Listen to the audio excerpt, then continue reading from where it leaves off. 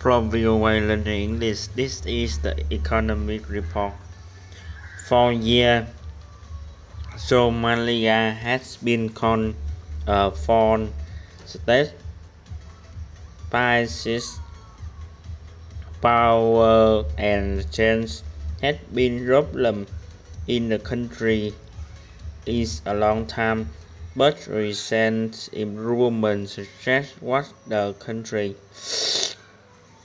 is taking is uh, so small extremely important to pitch in uh, the event called the social investment. Summit has was uh, the recent Somalia as is a foreign intervention is the main cause of increased security in the country.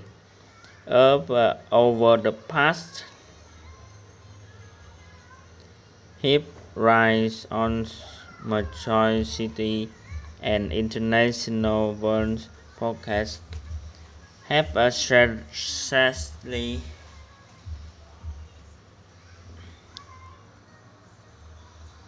Minister of Somalia's transitional federal government.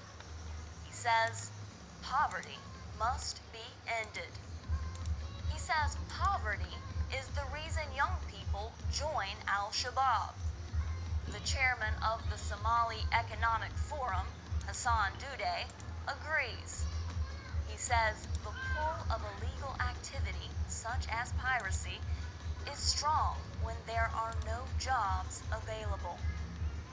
Although conditions in Somalia are improving, safety threats remain.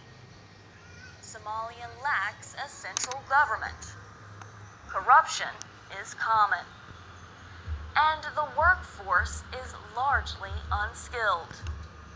These problems concern possible investors. Also, there are no secure legal safeguards for foreign investors. Currently, the United Arab Emirates, Oman, and Yemen are the top investors in Somalia. For VOA Learning English, I'm Carla Babb.